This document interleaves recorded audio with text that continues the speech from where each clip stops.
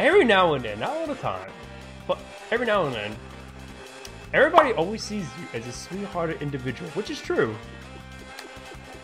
But every now and then, you would you show off your true colors by showing your in, inner gremlin. So, I made something. I made something just for you. There you are, in her true form, right? Everybody, this is Pastel in her true form, right? And this is what we do with a gremlin version of Pastel.